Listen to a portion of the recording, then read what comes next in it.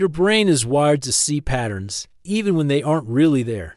It's called apophenia, and it helped our ancestors survive. Just imagine for a moment if you were walking through the woods and you saw a set of footprints in the dirt, you would know what to do. You would look around to see if anything was chasing you. And if you saw a face in the shadows, you would know to run away. Today, we still see patterns everywhere, even though they're not really there.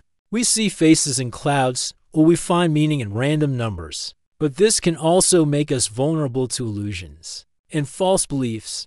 So the next time you recognize a pattern, ask yourself is it real or just your brain playing tricks? As we continue to learn more about the brain, we discover that we are all capable of recognizing patterns even when they aren't really there. This is a phenomenon that has been dubbed apophenia, and it is thought to be an evolutionary adaptation that helped our ancestors survive. For example, being able to recognize a predator as footprints in the dirt or a face in the shadows could mean the difference between life and death. Today, we still see patterns everywhere, such as in the clouds or in random numbers. While this can bring us comfort and a sense of order to our lives, it can also make us vulnerable to illusions and false beliefs. So the next time you see a pattern, take a moment to appreciate the beauty of it, but also remember to be critical and ask yourself is it real or just your brain playing tricks?